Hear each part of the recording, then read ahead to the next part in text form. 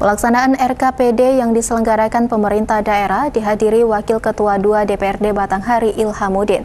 Melalui momen tersebut, Ilhamuddin menjelaskan bahwa pihaknya selalu mensupport semua kegiatan dan visi misi Bupati Fadil Bahtiar.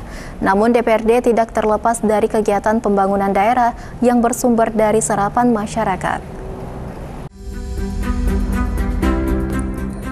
Ilhamuddin, Wakil Ketua 2 DPRD Kabupaten Batanghari, mensupport semua rencana dan kinerja Bupati Batanghari dalam pembangunan daerah.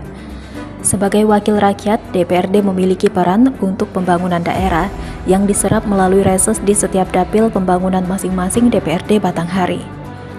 Dijelaskan Ilhamuddin, reses DPRD banyak menyerap aspirasi rakyat Batanghari dari bawah dan nantinya diharapkan setiap masukan dalam reses yang diajukan dapat diakomodir pemerintah daerah guna pembangunan Batanghari.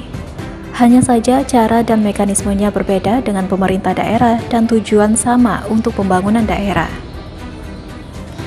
Dalam forum ini, Ilhamuddin mengambil kesempatan strategis dalam ikut andil pembangunan daerah.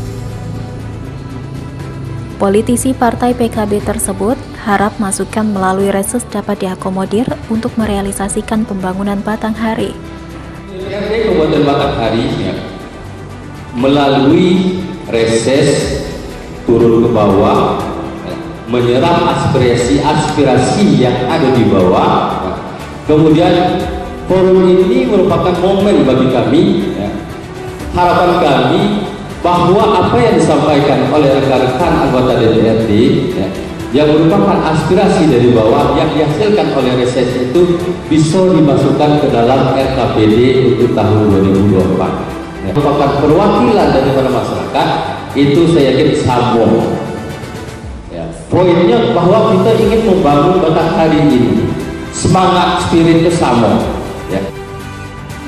Masukan reses DPRD yang juga tidak luput dalam pembahasan Dewan yang disetujui nantinya diajukan ke pemerintah untuk dapat direalisasikan pembangunan daerah demi memajukan pembangunan daerah.